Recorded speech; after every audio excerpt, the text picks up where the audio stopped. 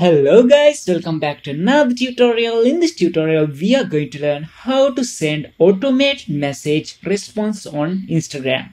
Open your Instagram app. First, you need to click on your profile icon in the bottom right corner. Then you can find these three lines in the top right corner. So you need to tap on that three lines. Next, click on the settings icon.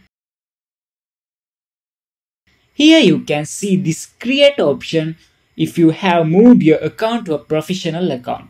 Just click on this create option. Then you can tap on this frequently asked questions. Now leave your desired message in here and click on this save button. Hope this video was helpful for you guys. See you in the next video.